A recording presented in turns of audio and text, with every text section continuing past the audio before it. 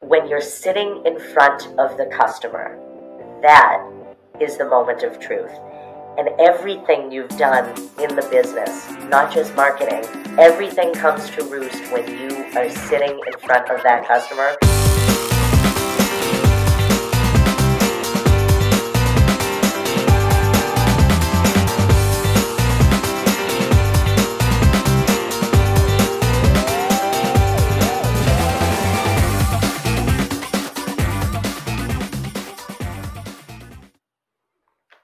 Hi, I'm Ed Marsh, host of the Industrial Growth Institute podcast. In some episodes of this podcast, we kind of poke around the edges of topics, and in others, we just sort of blow things up. And I think today may be one of those where we kind of blow things up, particularly the subject of strategic pricing in the context of industrial manufacturing. We're going to jump in there, but before we do, I'm really excited for this chat with Lisa Spadafora Thompson. Lisa is a globally known expert in pricing and portfolio growth for B2B companies. And, and there's a long bio and a lot of stuff, and I'm going to read it to make sure I don't miss anything. And then we're going to learn more about who Lisa really is. So she has nearly three decades of experience in pricing strategy and tactics, sales and sales management, product marketing and business strategy across technology, manufacturing, medical, medical products, B2B services, and other industries. And she's worked with companies ranging from startups and emerging industries through F100 companies and mature industries. Today, she's the founder and CEO of Sturbridge Growth Partners, which is a unique management consulting firm that helps companies break down internal barriers that prevent them from growing and scaling profitably. But that's just her latest stop. She was a partner at Deloitte Consulting, where she served as a leader in the firm's strategy practice. For eight years before that, she was a senior partner at Monitor Group. She served on the firm's board of directors and prior to that, she was a vice president and managing director at Strategic Pricing Group, which actually was acquired by Monitor in 2005 when she was leading their Chicago office. So, what I'd say is buckle up, prepare to have Lisa challenge a lot of what you think you know about pricing and strategy and product management. And please don't forget to like, share, and comment on on this episode, whatever platform you're watching or listening on. And so, with that, welcome, Lisa. Thanks for joining me today. Thank you so much. Ed, I think the you just did a polite way with my bio of saying I'm really old, you know? It's really, the bio's really long. well, it means you've got a lot of perspective and a lot of expertise and lessons learned along the way, I think, to share with us. I certainly hope so. I hope it's a sign of wisdom. We'll see. yeah, I'm sure that it is. So, we're going to get to know you kind of more personally as Lisa in a minute, but first I want to create some context. And and on your LinkedIn, You've got some brief notes about your time with Strategic Pricing Group. We just heard that it was acquired by Monitor, but before that, you write that uh, it was a boutique consulting firm that created the discipline of strategic pricing, and that that's really cool. I mean, to to think about playing a role in establishing a whole new management practice, if you will. So let's start by telling the audience about how that came about and how you participated in creating this category. You know so that was interesting. So the the person who really invented the field of strategic pricing is tom nagel. And tom at the time was a professor at the university of chicago. And he said you know i'm surrounded by some of the most brilliant economists in the world and they really understand economics particularly microeconomics and they really understand pricing but I want to be one of those people who really implements it with businesses. So he basically took what a famous marketing uh, professor said um, of his content is isn't what you're doing with strategic pricing simply marketing strategy, but coming at it from the angle of profit driven based on maximizing the or optimizing perhaps i should say the value you can capture in the form of your price. And that in essence is really what we're doing. It's profit driven go to market strategy profit driven sales strategy.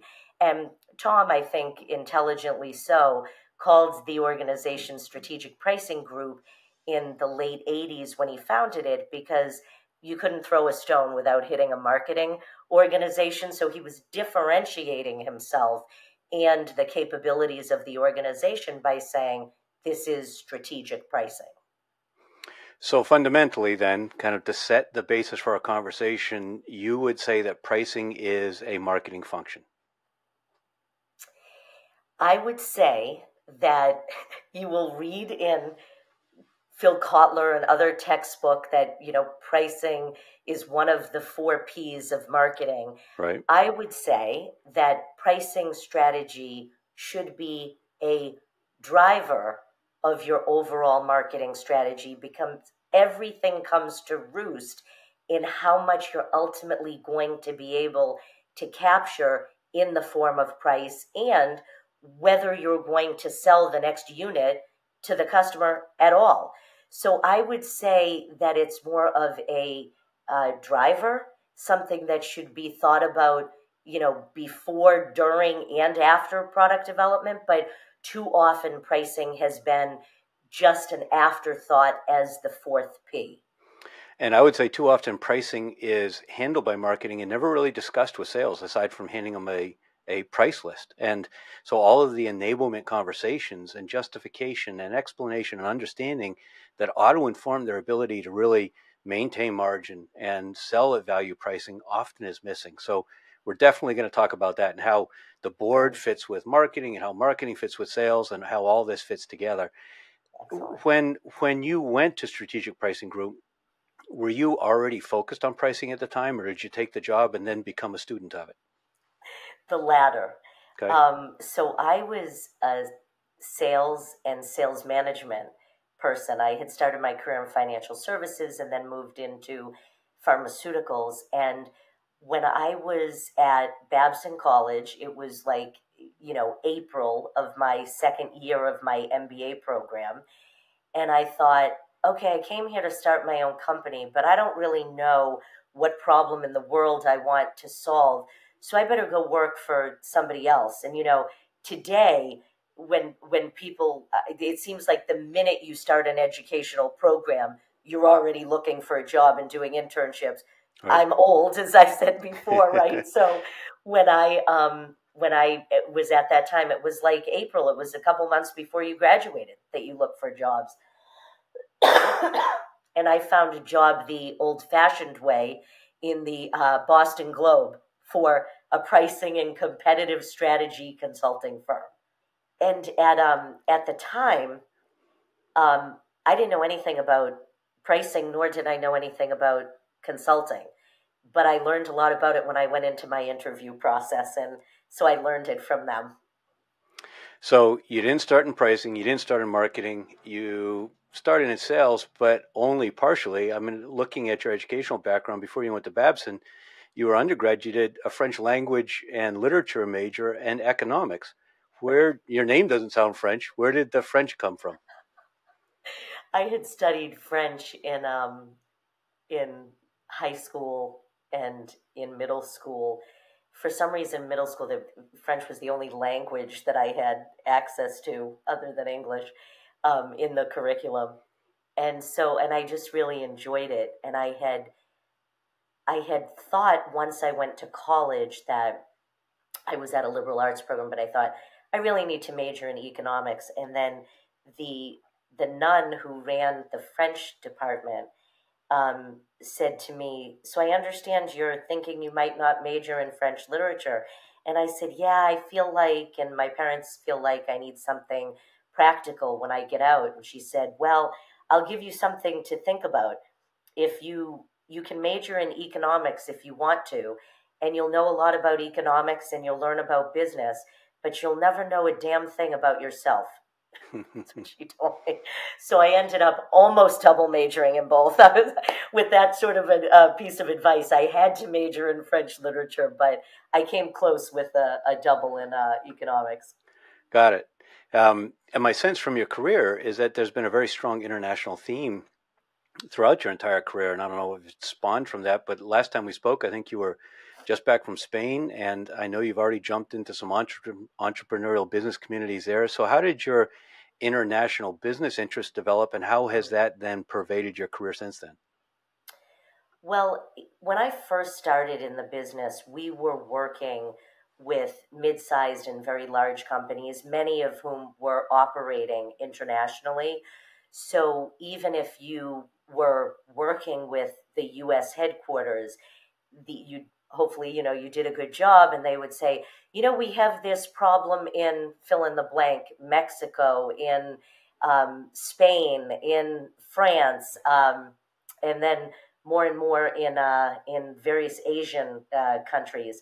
So that's it started at a at a pretty early stage, and it's just expanded from there. And now I do a lot of um, advisory work on the continent of Africa as well. Certainly, if we talk about pricing, I know over the last 10 or 15 years, my sense as large multinational organizations have harmonized their purchasing and there's information mm. available on the internet, the question of pricing becomes trickier and trickier for companies that have very different markets that they have to price for, but then they've got buyers that are interested in the prices that are available in other places around the world. Yeah, it's interesting. Um, more and more, for the reasons you said, people are becoming aware of their competitive uh, competitors' prices, even in situations where they're not like some, you know, highly complex industrial uh, products where people are maybe a piece of a, a capital equipment that somebody might be making a lot of choices to customize that particular piece of equipment and they have a service package that goes with it and all those service packages can look different it can be really hard to tell what somebody else is or isn't paying for mm-hmm. something mm-hmm. but what makes that even more dangerous is that salespeople are then getting all of their information about competitive prices from purchasing agents, which are a lot larger and more sophisticated today than ever, as you said. Right, right. You mentioned Africa. What's what's got your interest and, and focus there? So I was invited to attend a conference of a group called the Harambeans, which is a collection of about 300 or so African entrepreneurs who are highly, highly vetted. It's very selective. The founder of the organization loves to say that the acceptance rate is lower than it is at Harvard for hmm. uh, for their undergrad programs, and and it is. And these are all really incredible entrepreneurs who have for-profit businesses. Um, the ones that I work are with are primarily business to business, um, and they are founding. They founded businesses to solve some of the problems that most plague the continent. So it might be um, super high youth unemployment rates or right. access to capital for the average Kenyan or Nigerian um, and having people get access to these incredible talent pools that exist on the continent of Africa. And so I coach a lot of them in terms of their pricing and growth strategies. Interesting. And is that typically done remotely or are you spending a lot of time over there? It's majority remote. I have been to South Africa and been to Kenya, and I think my next visit will probably be Nicaragua, but for the most part, it's remote. Got it. Um, we're both in the Boston area, um, and with your interest in African business, and you mentioned Harvard, you you may be familiar with the Harvard um, Africa Business Conference that happens annually in February. You know, I know of it, but I haven't actually been to that. You ought yet. to go check it out. I think you'd find another crop of really inspiring thoughtful entrepreneurs, um, and you, you find out a lot of about a lot of really interesting technology. Particularly, there's a lot of a lot of technology stuff happening, particularly in Nigeria, um, but a lot of a lot of the uh, online banking tools, the phone-based banking tools that we use, I think originally were developed in many cases in Africa, where you know pe- people don't have bank accounts. Yeah. Their phone represents yeah. their bank account, basically. Exactly, exactly. I'm going to check that out. I wouldn't be surprised if there isn't a lot of overlap Probably, between yeah. the organizations. Yeah. Um, so, with a lot of travel over the years, what's your favorite place to visit? Valencia, Spain. Which is where you were just a few weeks ago, I think, right? Yeah, I my daughter has been living there doing an internship in the real estate space, and um, my son actually also is doing a semester abroad in Spain. He's almost done. He was in Madrid just an hour or two away. But um, Valencia has a very special place in our hearts because we lived there for a summer when my kids were younger because my son uh, participated in a soccer academy there. So we said, oh, let's, we have the flexibility. Let's go with him and work from Valencia. And it reminds me a lot of Boston, which is one of the things I love about it. It's a similar size. It's, you know, they have the great city, great culture on the water. So I would probably say that is my favorite place. If I had to live somewhere else, it. it would be there. And how about most challenging country to do business in that you've encountered? To, to do business at, I mean, it definitely would be one of the African nations because as much as there is so much change being brought to the continent, you do have parts of some of the governments that are still corrupt, that are oh, yeah. still working against the people, and and you really have to help people figure out growth strategies in spite of those things. Right. So some of the companies, countries there, I would say those would have to be the toughest. Yeah, it's really it's a degree of friction. We've got a lot of friction with regulation. They've got a lot of friction with corruption. That, you know, in many cases when you're in it, you don't even realize it. It it doesn't feel like it's abnormal. You just have to figure out how to adapt to it. Exactly, and they're getting. I worked with, uh, have been working with one organization that is getting basically access to capital to people, and they're operating like a bank. And the level of regulation that they're now going through in various countries, it's good, it's good, but it's going from just one type of challenge to another. Right. To your point, yeah. Yeah, and of course, then American companies trying to do business in those markets have to be aware of the FCPA, the Foreign Corrupt Practices Act, and the implications of if we just kind of wink or nod or look the other way, or even if we're completely ignorant, but one of our agents or reps undertake some corruption, for instance, to get product through customs, then we're personally criminally liable. It's a it's a very exactly. difficult situation. Exactly. That's why so many of those organizations have to or should, if they don't, have all of their employees go through training in those right. areas. Yeah.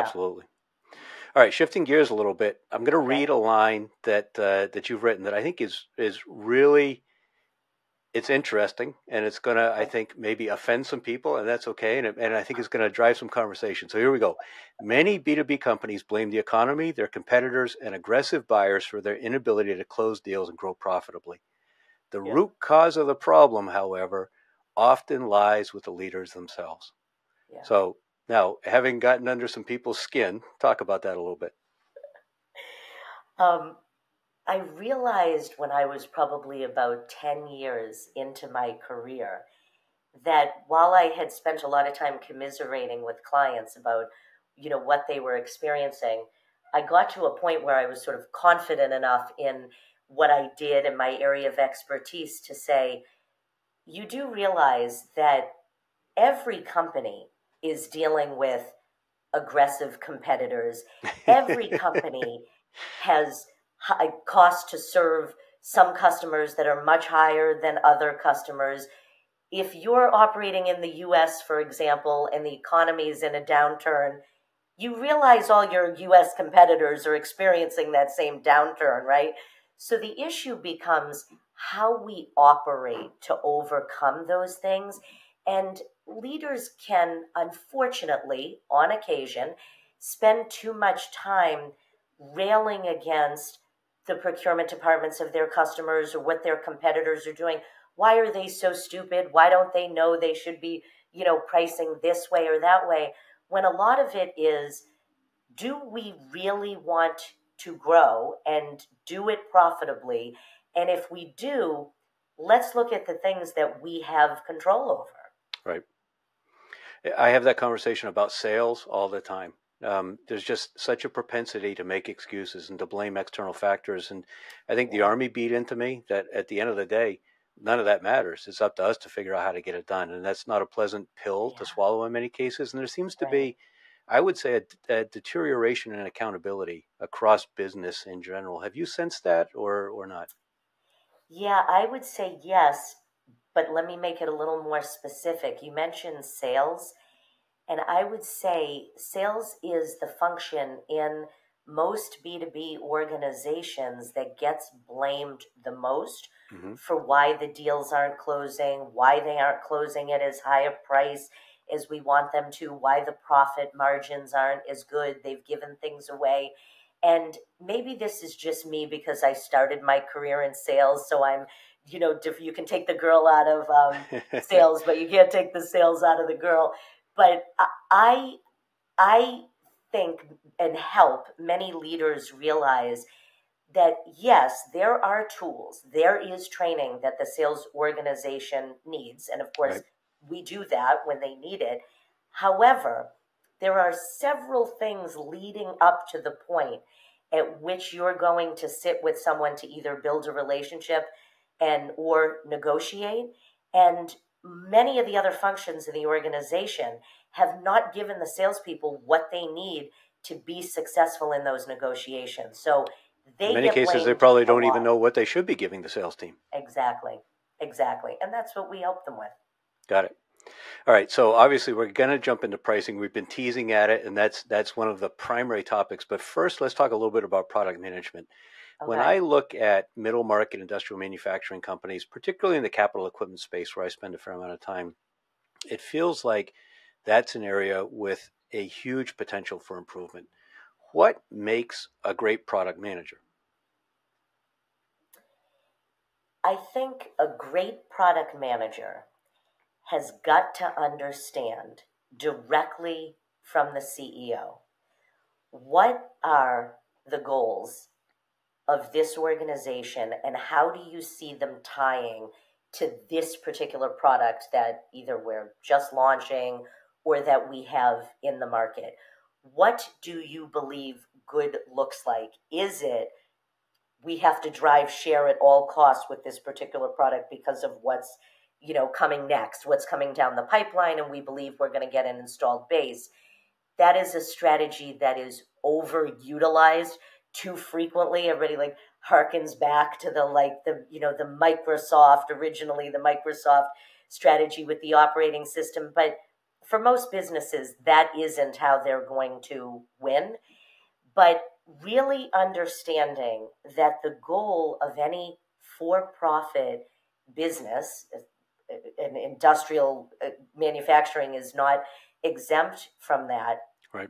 Your goal aside from whatever your overall mission is for whatever problems you exist to solve, your goal is to maximize the total contribution dollars that you bring into the company through that product for which you're the manager. And and what do I mean by that? That it's not either about it's not just about high margins because there are situations where more volume at lower margins can maximize, particularly maximize more sustainably, the total contributions that your product brings in to the organization so that you have more to cover fixed cost and hopefully then some left over, you know, to go into pure net profit. Mhm. And so I think that mindset of product managers is really important. However, in the spirit of accountability that you were just talking about, if you don't have a CEO who understands that and encourages that of the product manager, is it really the product manager's fault if they don't have that mindset? So that makes perfect sense. I am surprised. I thought when I asked what makes the great product manager, the first thing I was going to hear was that they spent a lot of time talking to customers. And you said instead they spent a lot of time talking to the CEO. I've always had the sense that the product manager was essentially the voice of the customer. Is eh, and and and I don't know much about it, so that could be ignorance or naivete, or maybe it's just embedded in your assumption. Help me understand about that. Yeah. So I'm glad you asked that because if it sounded like I don't think they should be spending a lot of time with customers, absolutely not. They have got to be. But I don't think the product manager is the voice of the customer. I think Okay. the product manager is the voice of the intersection of the customer and the company Got and it. where that intersection overlaps to make it a win, to make it profitable, to drive the most value for both parties. Got it. So the environment, you could be a great product manager in the wrong environment if the CEO doesn't get it. The environment that's necessary to elicit greatness from a product manager is a company that understands that basically that that situation you're just describing where we're trying to optimize for the customer we're trying to optimize for the company and how do we figure out the place in the middle? Exactly. Exactly. And and for a hundred or two hundred million dollar or fifty million dollar uh, industrial manufacturer they may not have enough money or they may not think they have enough money for a full-time product manager. Often that responsibility gets folded informally or maybe formally in with some others. What have you seen work best? What marketing discipline or what job role do you find product management fits closest with if somebody has to do it on a part time basis? Yeah, you know, that's a really interesting question. And I know I'm giving you that, you know, um, lawyer, consultant, economist answer. It depends, right? Right. It, I, I really have seen, particularly when you get into, you know, companies under, say, 500 million and below, that you really want it to be specific to how the organization is structured, the type of products that you're manufacturing and selling, and the specific people who are available to you at the time. So people tend to ask me the question more often where should pricing sit? Whether you have a person who does pricing, you know, has that in their title, their actual role, or it's just part of their uh, part of what they do, part of their day job. And a lot of times in smaller organizations, it will sit with product management. Mm-hmm. Um, in some of the organizations that are like 50 or 100 million dollars they're, they're, it's sitting with engineering right in industrial firms the engineering folks are doing the product development the product management they're going back to get mbas after they've gotten you know their civil engineering or industrial engineering degree and so they have product and pricing sitting underneath them but i have seen pricing be successful and be a disaster under finance leadership, under sales leadership, under marketing leadership. And I would say, you know, every organization is not going to be able to do this, but I've had some clients for whom the CEO felt it was such an important function that the pricing function was reporting directly to her or him. Mm-hmm.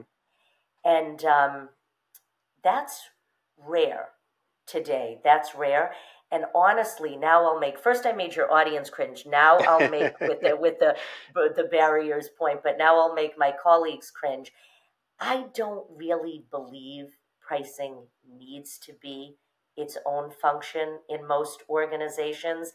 I just believe that you need to have the right function and the right person within that function for your organization leading it. And it has to be somebody who has those product management skills like they know the customer, they talk regularly to the customer, they understand the products, they can understand the company and the environment in which it operates, right. the competitors, they get financials. It's a real cross functional role. Now, obviously, you consult with companies on that. Can you also do you operate fractionally? Can you help them identify and hire the right person? Can you take somebody that they have and train them to do that? What ways do you work with companies on filling that role? Yeah, so I'll start with your last thing. You asked earlier about Strategic Pricing Group, the organization that Tom Nagel founded. Um, he started that organization not as a consulting one, but as a training one. And as a lot of consulting organizations are born, what happened was the training clients were saying, hey, we need you to work with our people, start a consulting organization. So anybody who grew up there, myself included, is very steeped in learning how to actually teach people to do this profit driven marketing strategy, um, pricing more strategically directly. Um, I don't operate as a fractional, nor does anyone in my firm. Mm-hmm. It it would tend to be more. Some people might want a retainer. I don't know. Maybe you could call a retainer fractional, but they're not. It's usually not like a twenty five hour a week role right. at any one organization. Um, and in a lot of places, it doesn't need to be. It depends on the number of deals you're doing, the number of products you have come out. For a lot of clients, they just, you know, they have a, say, a handful of core products and then some variations off right. of that. And it's a 30, 50, 80 million dollar client. They don't need a full time pricing person. And they don't need you know they're not constant negotiations. They're not constant they might develop something new every two three years. So it, it really is more like a mix of retainer consulting relationship or training and workshops. Workshops have become very popular because they're a mix of teach me how to do this but apply it right. to my business with me. And that's very very popular today and and in a mid-sized company, do you insist that executive management participate in the workshop even though they don't own the function? Do you want them there so they have the context, or do you not care about that? Yeah, no, we care about that because we, first of all, any area of discipline, if you aren't aligned on the principles with the CEO, and I, I should say maybe the C suite more broadly, it depends on the functions, but say the CEO, the chief commercial officer, chief right. revenue officer, maybe the COO, maybe the CFO. If you're not aligned with the principles around strategic pricing, and at the end of the day, you're going to say, look, I just want you to go figure out every individual customer's willingness to pay and don't lose any deal due to overpricing. I would say maybe, maybe this is me. I can be like this at this stage of my career. don't don't hire us. That's a waste of money. Right. That's just a waste. You can do that yourself. Right. You know. So so that makes sense. Um, and obviously, we've been kind of diving down into the weeds, talking about the specifics of the job. But let's zoom back out, let's zoom back out through the C suite right up to the board. I know you've got a lot of independent board director experience, mm-hmm. and we're always told, you know, nose in, fingers out. But if senior executives are the root cause, as you said they may be, um, or if they're at least ignorant of the nuance of what you need to do, then it feels like there's a necessity for some of this insight to perhaps be on the board and if you're a director on a board of a company where executive management and marketing and sales don't really get it, how do you work with them? How do you challenge them? How do you provide oversight? How do you provide the operational insight, but do it through the lens of governance? Yeah, so the the really cool thing about profit driven or strategic pricing is that it's a large contributor to growth. And not just not just the you know bottom line growth but also the top line because when you're doing it right you drive more revenue. You close more deals right? If and if you have a true competitive advantage you can have market share as well as you know margin dollars. So i think of it when i'm uh, when i'm in a governance role the same way I would ask the C suite questions to pressure test the validity of a strategy and that it's really going to mm-hmm. withstand. Um, you know, like Mike Tyson says, everybody's got a plan until they get punched in the face. Is right. it really going to withstand the test of the marketplace? What's going on with the trends? What's going on with competitors? And pricing is just part of that overall strategy. So I pressure test and ask questions about it the same way I do about the corporate strategy when I'm part of a board. Got it. So let's leave the cost structure out of this question, thinking just about it from the kind of from the top line perspective. What would you say are the three most common causes of lack of profitability? Okay, that's a really good one because when you can't really think about costs, one, not understanding the value okay. that you offer, like the true economic value of your offering above and beyond the next best competitor that you have. That that's probably number one. Okay. Related to that, I mean, these are all somewhat intertwined, but related to that is there are companies who over engineer things. You know, like somebody's built a Ferrari and there's they want to sell it to a segment that is only interested in paying for a Toyota Camry. Like right. they literally don't have the budget for a Ferrari. It's not a negotiating tactic. You've right. over you've really overbuilt this. And the third one I would say is lack of a discounting strategy. And that's something that people also like what is a discounting strategy? I mean as a as a pricing person, aren't you going to tell us that we shouldn't be discounting?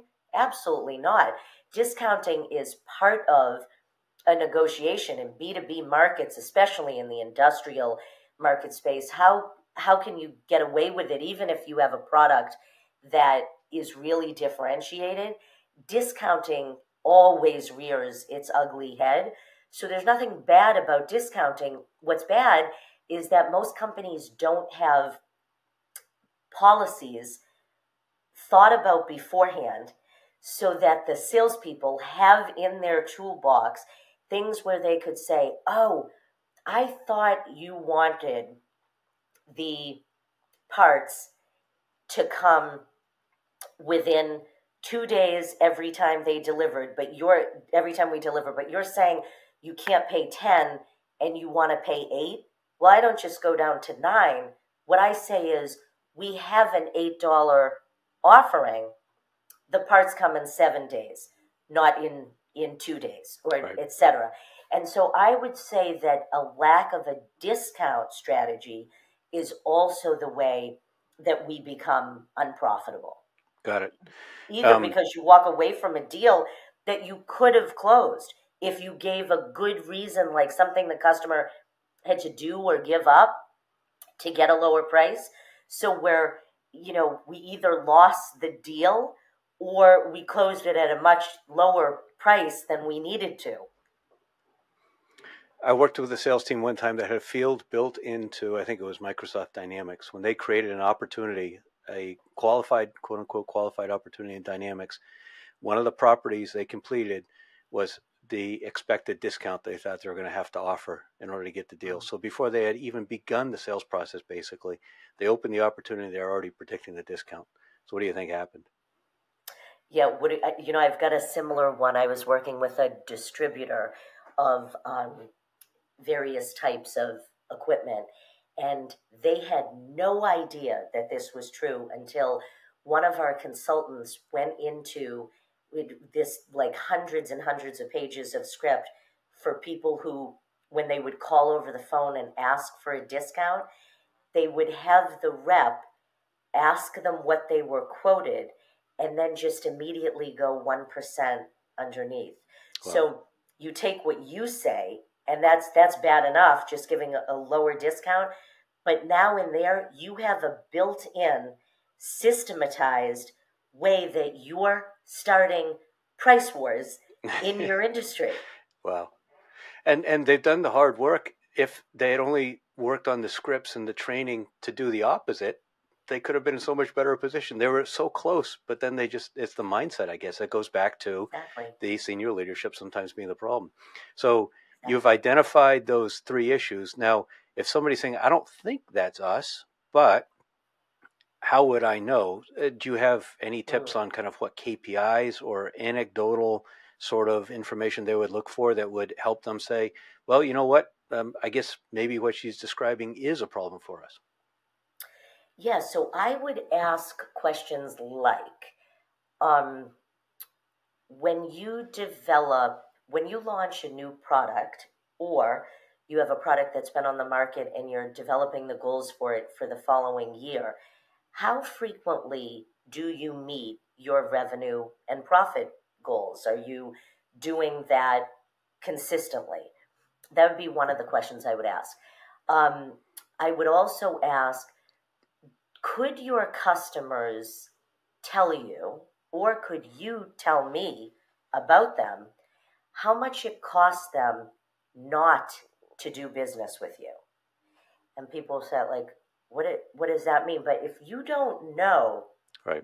how much your customer loses because they don't do business with you, there's no way you understand value because it's very easy for people to say we understand value but when you ask that question and they can't answer it like well we have you know 99% on time delivery and the next best competitor has 96 and that 3% if you're in this particular application can be really problematic because the whole line shuts right. down if you don't know what that extra 3% of three percentage points of delivery um, accuracy gets you, you don't really know value.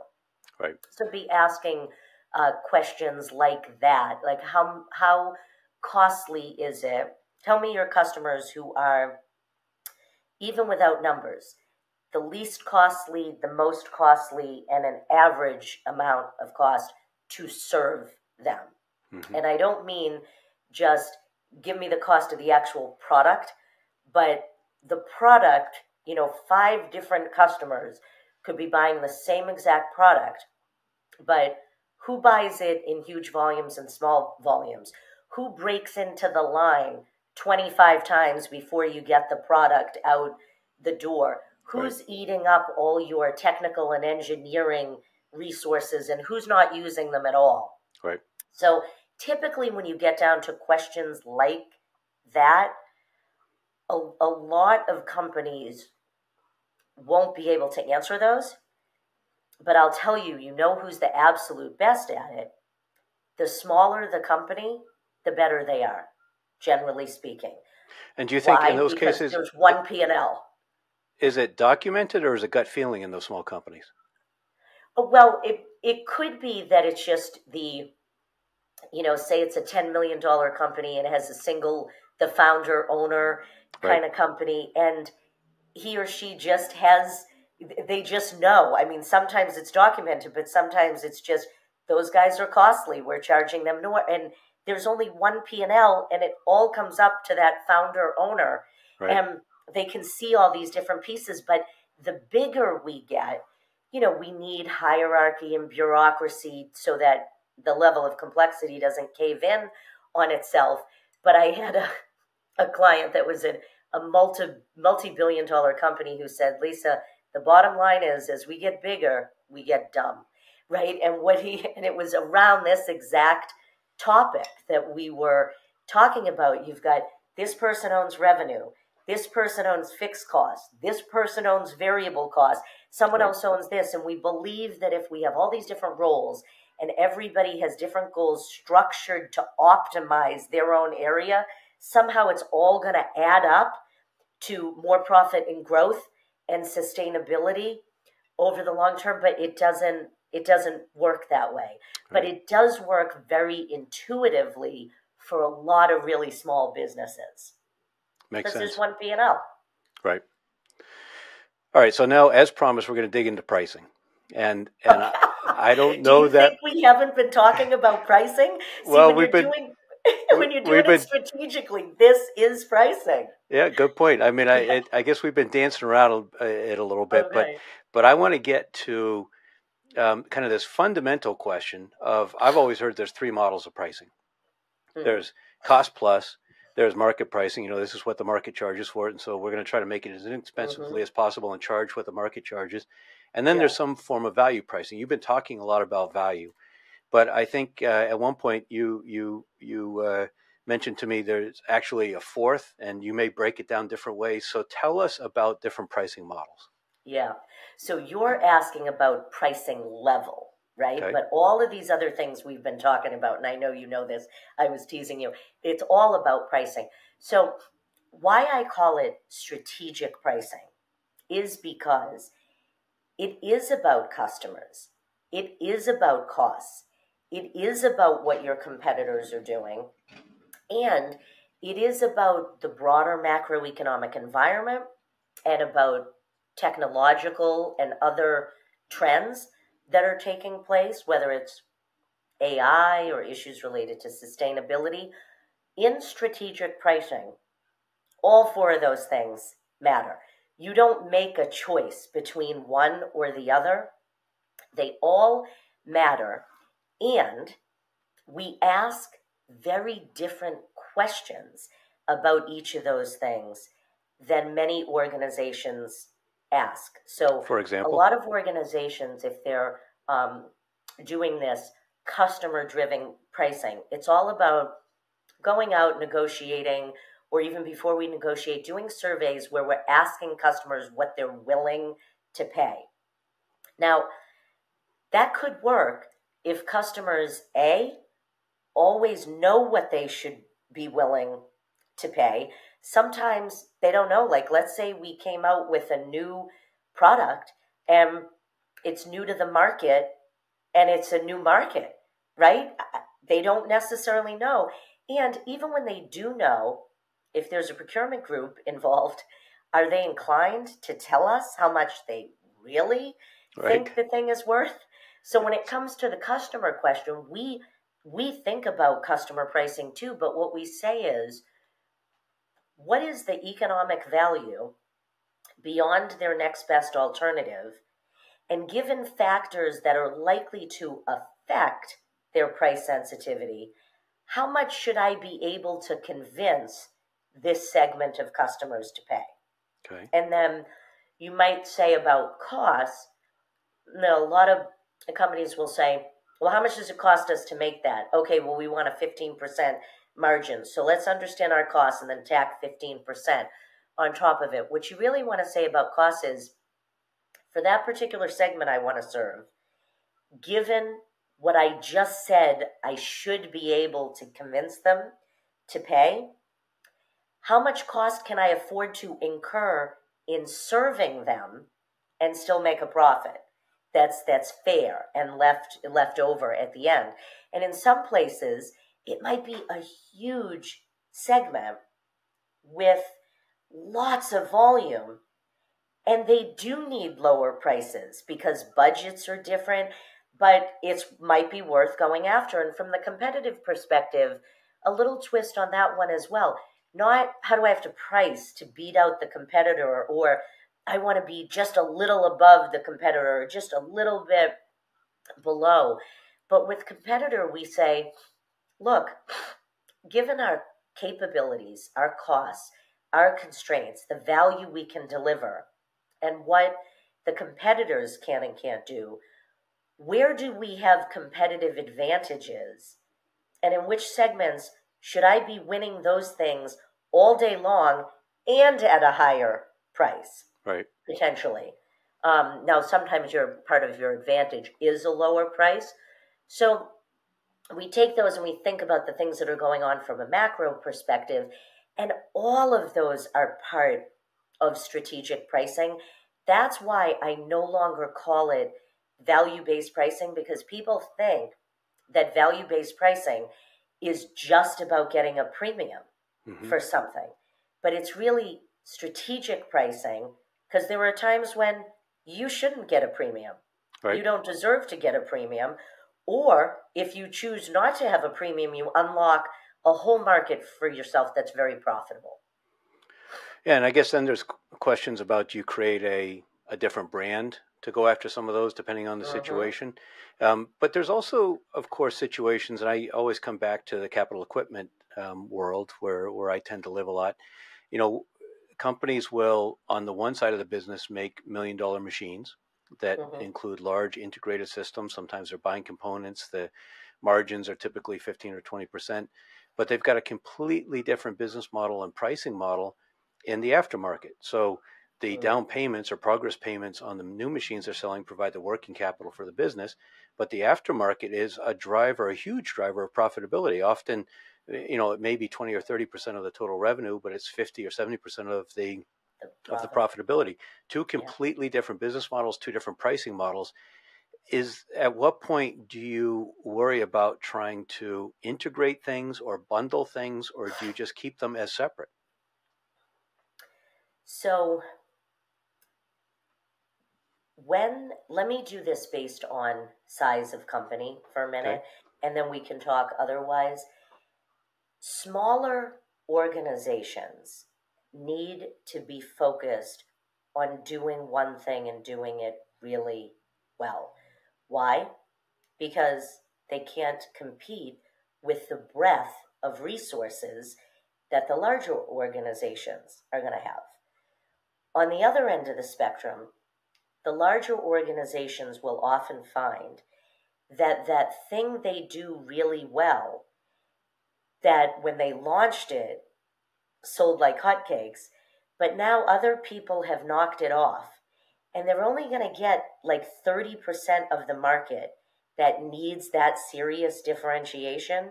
So, like the example that you gave, they need different offerings which almost equate to different business models within the same organization. Okay. So the bigger you get, trying to integrate is not actually the right thing. Making sure there is knowledge of one area versus another, but you talked about an organization that, you know, could an organization do you have to have a separate model for doing something and a lot of i worked with a company that um, did valves for commercial air like hvac and mm-hmm. commercial stuff and they went to market very effectively after you know we we put the right strategy in place with a valve that was going through the same channel of distribution that was literally more commoditized. You could get the same thing from China, but it mimicked what you got from China in that it couldn't you couldn't get it fast. Mm-hmm. You couldn't get it fast. There was no support that went with it. There were no training materials because this thing's a commodity, right? Everybody knows what it is. But that same business had the valves were often bundled with other products, came with a level of training and a certain number of hours from the product leads each week. You could get that particular valve within always within a very short time frame. So when you think about that, they haven't integrated anything there. They're really operating two different types of models. And if you want to sell to a complete market that has all different segments and different varying levels of price sensitivity and need for your differentiation, varying levels of that, you don't integrate. You have to offer it, you have to operate separately. Mm-hmm. And how about a situation where a company, increasingly companies are talking about partnerships. You know, it's it was well established in the software space. I think something like 95% of Microsoft's um, B2B businesses sold through resellers or value added resellers mm-hmm. or whatever they're calling them. And, and that sort of partnership mentality seems to be growing to some extent that exists through sales channel, but companies are also looking at partnerships with adjacent technologies. And um, in some cases, those are based on introductions, and the other company comes yeah. in and sells. In some cases, they white label. In some cases, they they yeah. brand it or, or, they sell, acknowledging that it's a different brand, but price it together with other stuff. How do you begin to think about those kinds of situations where there's even a, a, a step removed with a different company?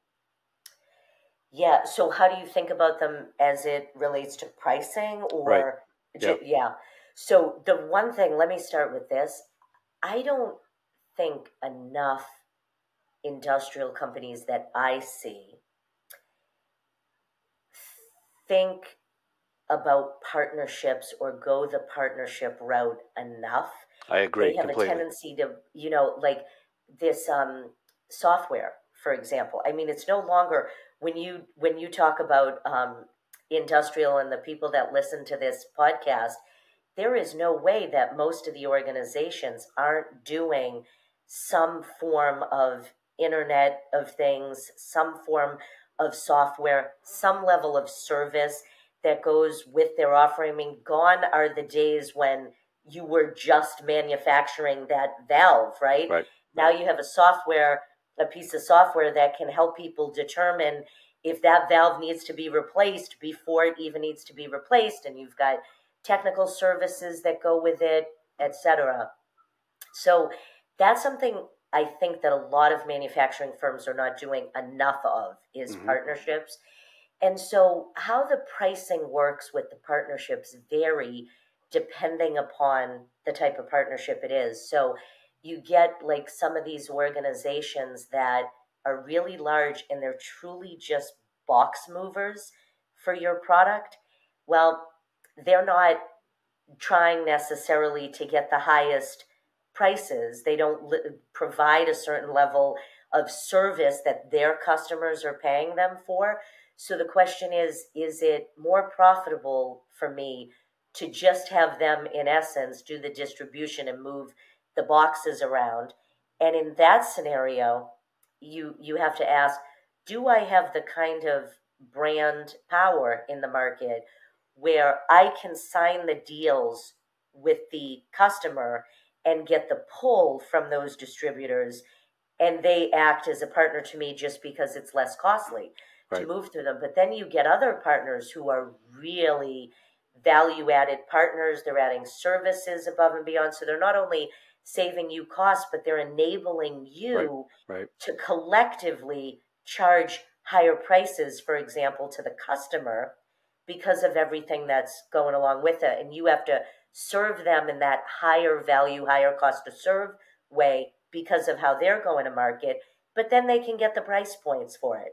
Mm-hmm. Sometimes you have to help them. I mean, I do a, have done a lot of work with clients where we have to train their sales organizations and we also have to train their dealer and their distributor organizations. Right. Yeah, that's that's a whole nother topic. Um, yeah. Partner relationship management and learning systems and expectations and the ideal partner profile and how do you find companies that really are aligned philosophically and want to invest in having their people trained versus just have you send them line cards or whatever you know whatever they think about. That's right. fascinating. Um, you've talked in such great detail about the thinking and research that has to go into pricing kind of from the perspective of the marketing or product function mm-hmm. but sales has to execute this mm-hmm. and it feels like there's an important bit of middleware between the thinking and establishment of the prices and then handing a book to salespeople and sending them out to the field how do you involve sales in enough in the thinking and context to arm them with the understanding of how to go out and then um, you know sell at the prices that you've established? We ensure that sales people sales managers and the senior vice president of sales or senior vice president of sales and marketing all have a role in every strategy that we're developing. So not like one of them. It's not just here's this token salesperson who's on right. the team, but we want like on the ground sales, the person who's doing the negotiating at the national level and the most senior person in sales. Typically, because sales is, you know, if they're if they're doing their jobs well, they're with customers a lot. They're not sitting around in corporate in meetings all day long. So we often have to have two people at the manager level, at the sales level, either from different regions to get that representation or for different product lines.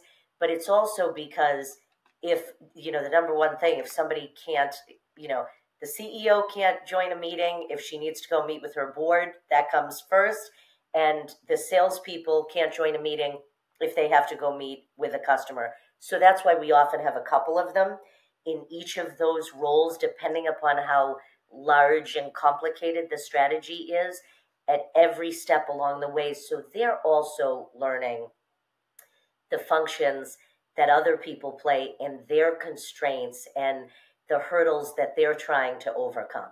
So there's right. heavy involvement from sales because it doesn't it doesn't work otherwise, and that's why what we hand the salespeople they have created with us, and they help teach other people how to do it. So you typically want sales leaders who are strong and have the respect of the rest of the sales organization so you can co-teach it.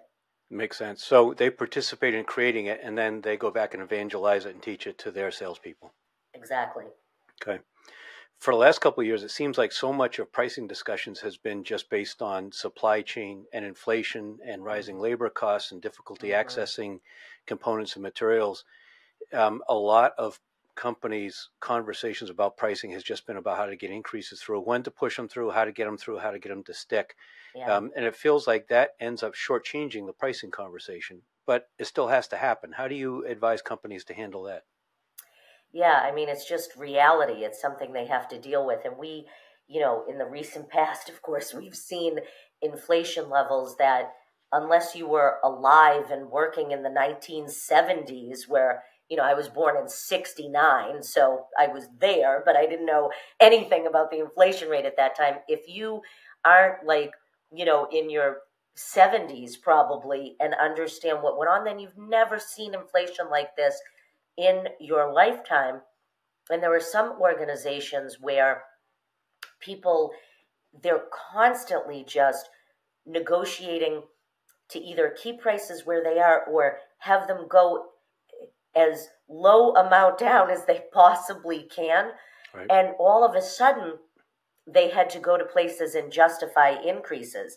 Now, we were talking to our clients during when we were in the pandemic, and um, the president announced the first stimulus package.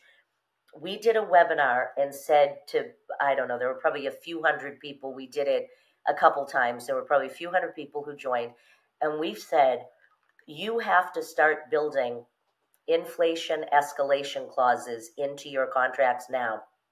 And I had clients who I have worked with for years that were, you know, sending me chats in the in the uh, chat room in the webinar saying, "Are you kidding me? What are you talking about?" It's like, how do you think we're going to pay for this giant stimulus that we put out there? We're going to experience serious inflation. Right. Most companies did not get ready for that.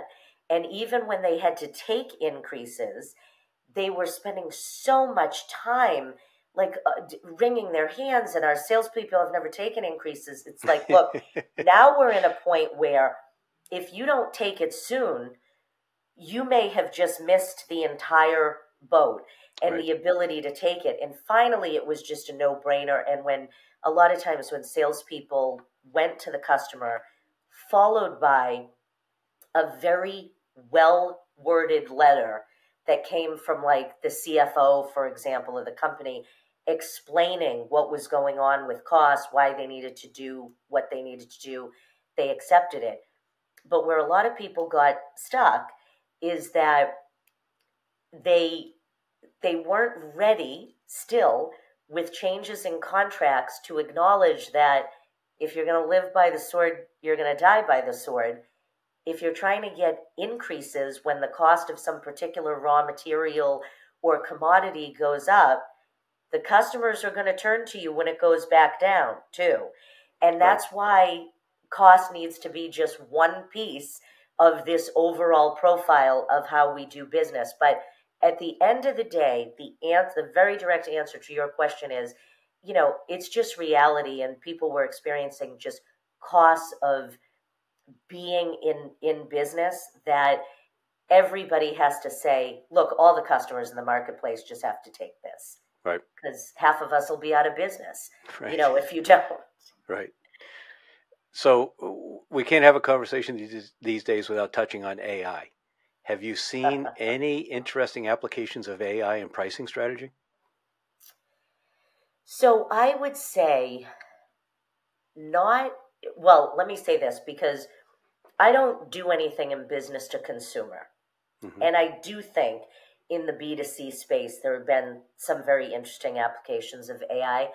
Um, I, from a B2B perspective, I've seen incredible applications of machine learning and building models that you know people throw around the term AI loosely and sure. often right. call and I'm not an expert in it but will often call something AI when it's really just an issue of machine learning and so we built um, and by we the brilliant people on my team not me built this um, fantastic machine learning model for a chemicals company that basically took into consideration if this is what's going on in the economy, if supply and demand for this particular commodity look like this, if it's this region of the world, if it's this, that it the machine can actually spit out,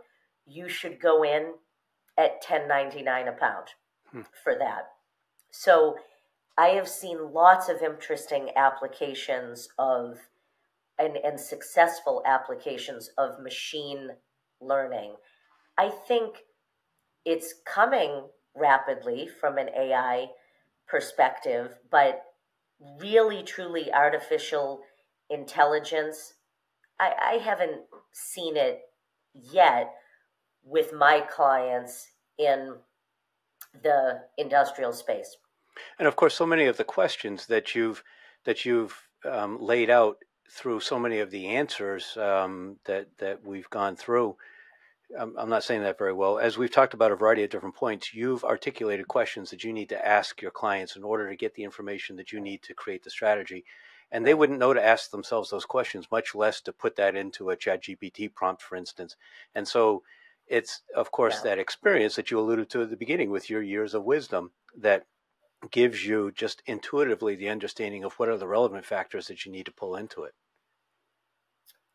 That's that's true, and it is it is an art and part science to really be able to ask insightful right. questions that will take you down a very different path to the real truth, so right. to speak, if you will. Right shifting gears a little bit, I know you're active on a or have been on a couple different boards at Babson, and you volunteer in some other areas that are important to you. I, I, know Boston Youth Empowerment. I see it on your social media. I see it in your profile. Tell me about the the nonprofit stuff that's important to you that you work on. Yeah, so anything related to youth and fostering education has always been important to me. Um, and that you know can naturally take you to higher ed. Um, so I am on the board of trustees at Regis College and then the college advisory board at Babson. As you said, in the last several years, I have felt and had more of a pull. Um, I really do have this. You know, I try to spend a lot of time in silence and meditating and hearing where you know the universe is trying to pull me. And I right. have felt this large pull toward not only the continent of Africa, as we've talked about, but then specifically the inner city of Boston with people who are experiencing homelessness or were drug addicted, alcohol addicted, and trying to get into recovery and find a house, find a job, not just any job, because you can't flip burgers at McDonald's and afford to live in the South End in right. Boston, right? It's an expensive part of the city. I mean, Roxbury, Mattapan, Dorchester, places that were always the least expensive to live.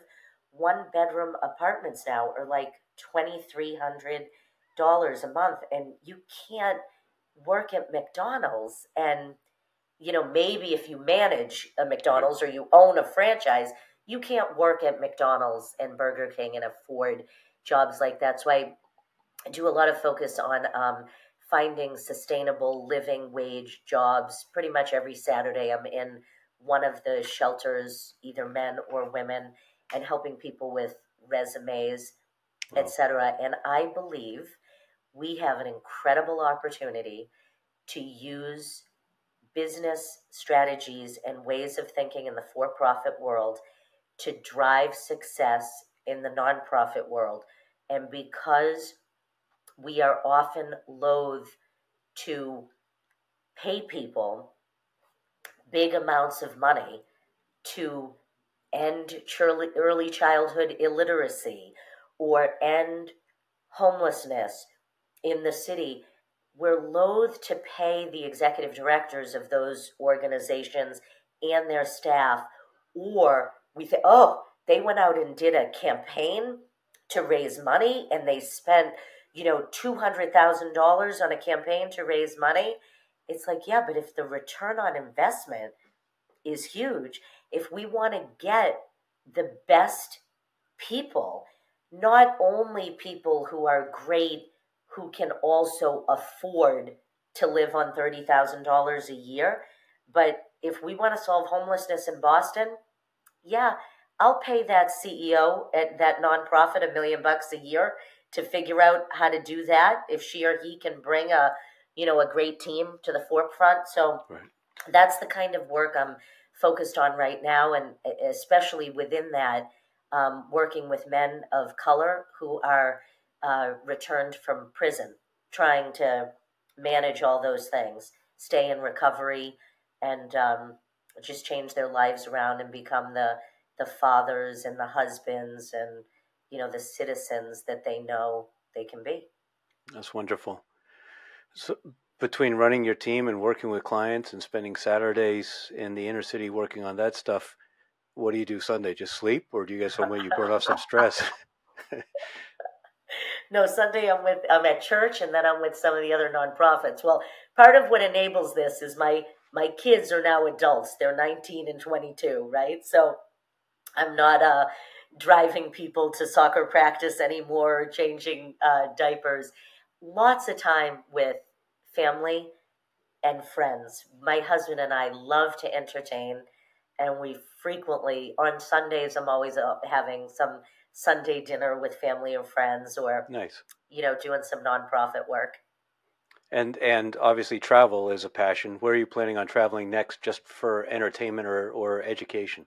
Yeah, so for the next big entertainment thing, we do a lot of travel with um, our kids and our, um, in particular, one niece and nephew who are married.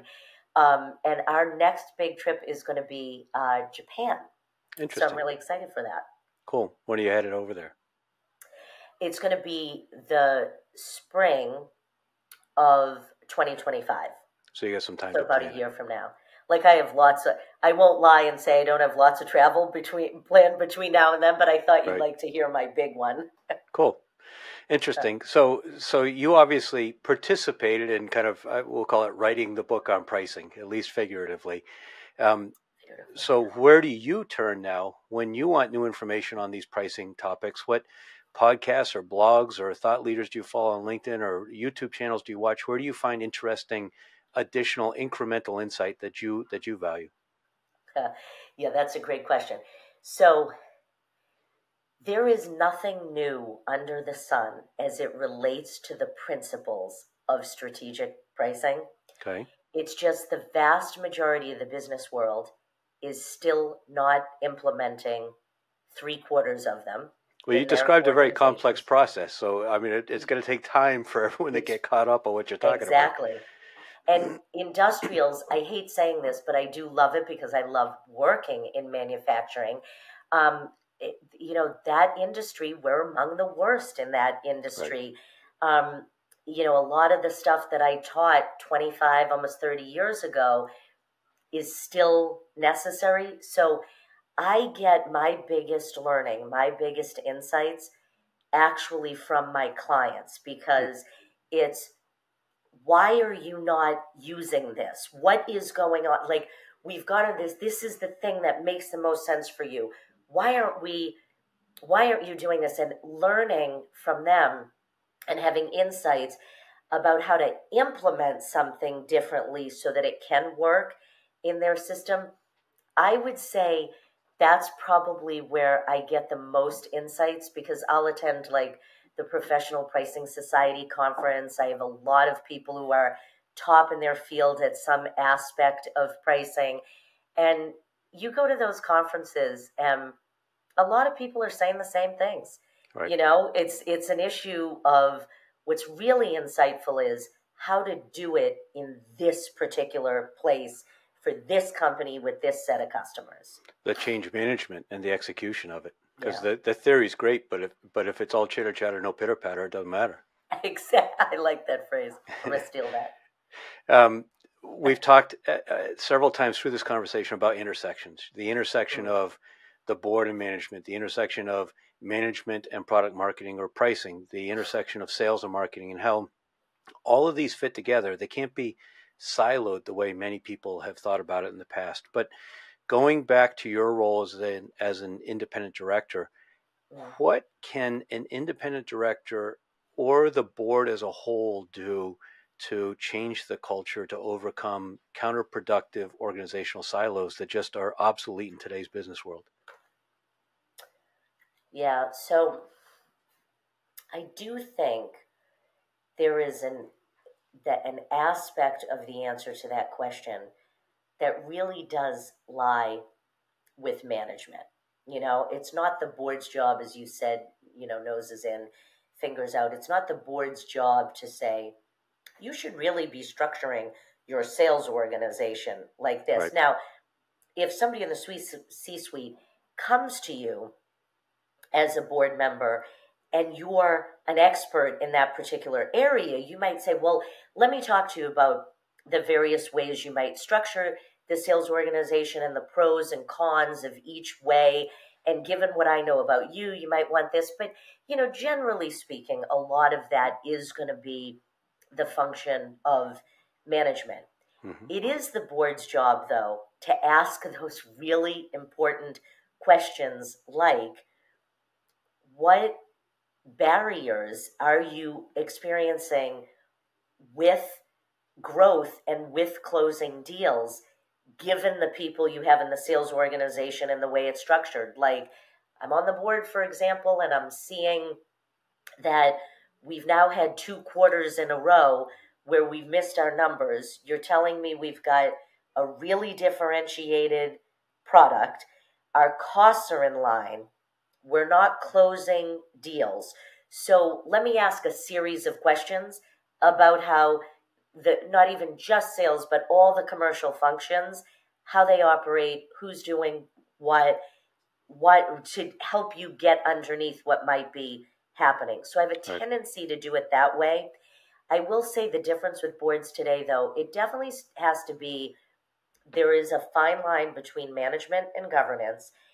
But today, in I don't do public company boards. Right now I only do private company and there is it's not that there's less of a line between management and governance. We all still know what management is versus good governance, but there is an expectation more than there used to be that board members will not just ask good questions, but provide really impactful advice and talk to the CEO outside of the board meeting and say, you know, let's go a little bit deeper on that topic because that is, you know, I've had experience doing that like five different times.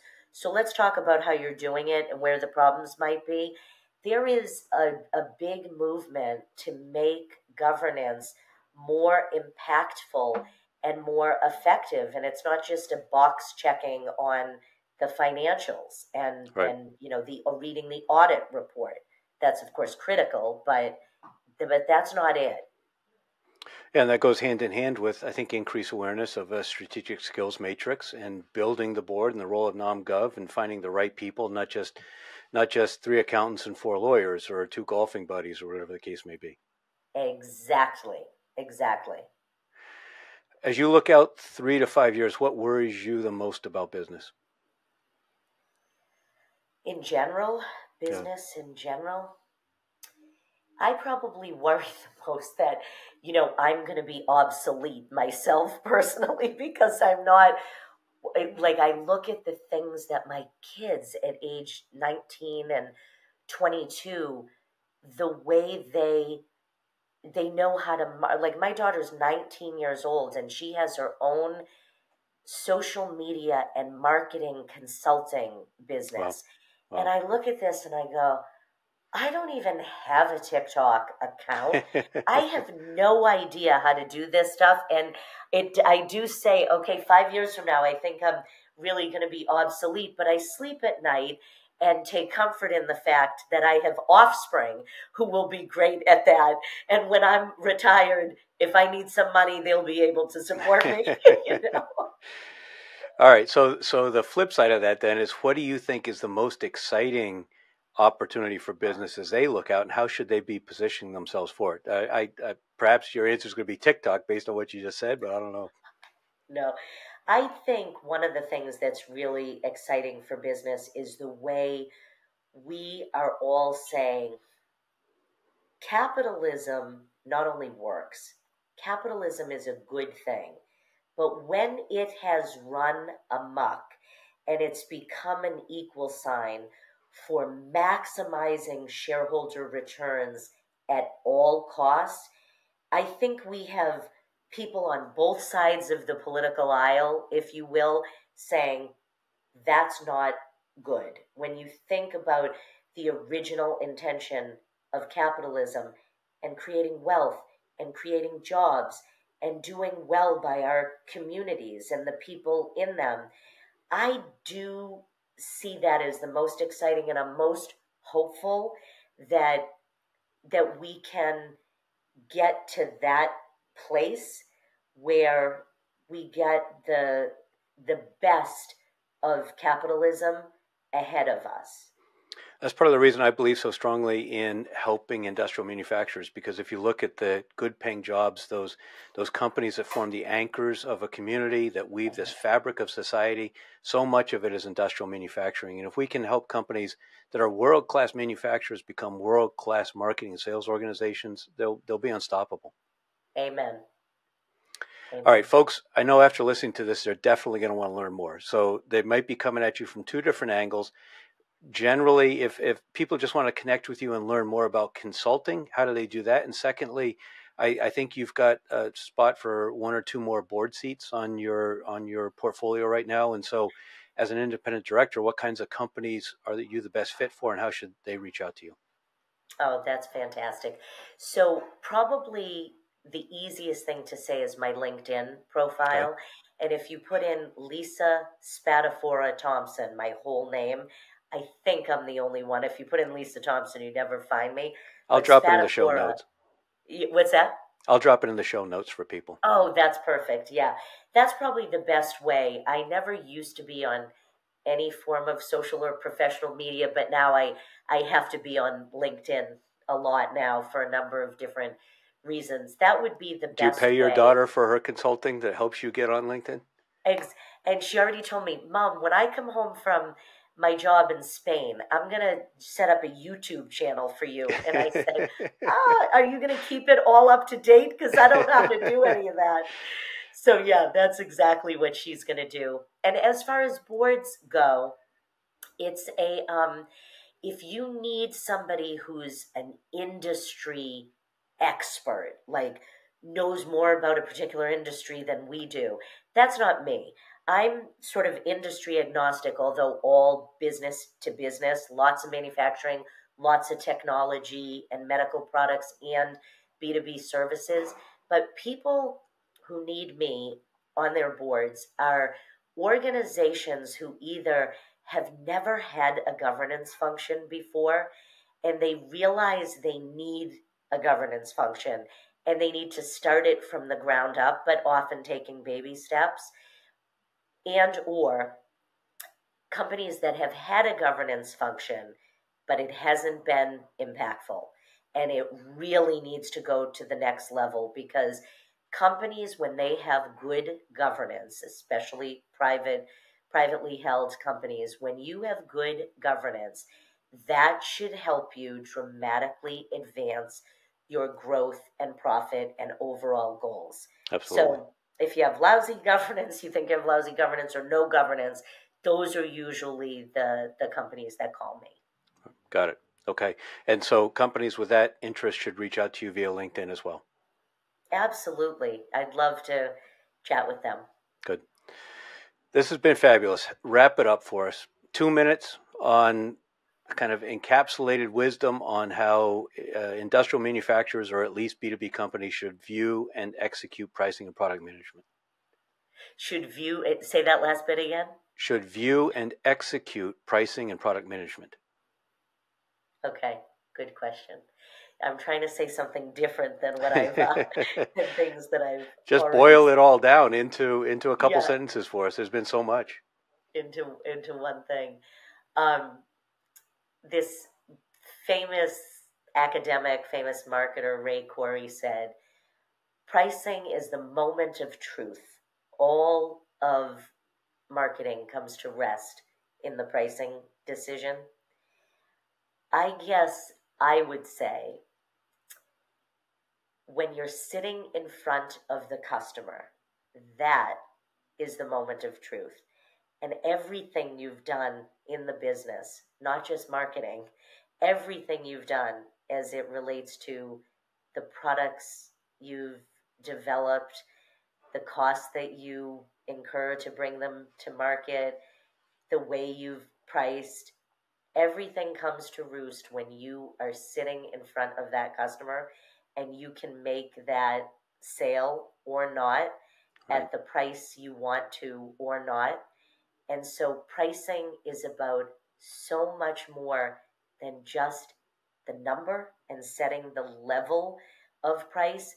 And it starts as far back as the new product development process does if you really want to be doing it well and dramatically increase the likelihood that you meet your goals. So I was expecting a lot from this conversation. I, I got more than I was expecting, and uh, on the one hand, feel so incredibly ignorant about pricing um, that it's embarrassing. On the other hand, so grateful for so many wonderful insights. It's been a real pleasure. Thank you so much for joining me and sharing those ideas with everyone who's listening. I hope it's challenged some sacred cows for people and and and prompted some introspection and and and driven some creative thought. So thank you so much for joining, Lisa. You're so welcome, and it's been a pleasure and an honor for me to talk to you and your audience. So thank you. Thank you. So for everyone listening and watching, don't forget you got to hit the bell, you got to like this, you got to share it, and and this wisdom needs to reach people. So make sure that you offer a review, drop the link, uh, share the link with people who you know will will want to hear this. And by all means, please reach out to Lisa for more of her insights. You'll find her LinkedIn and website information in the show notes. Thanks very much.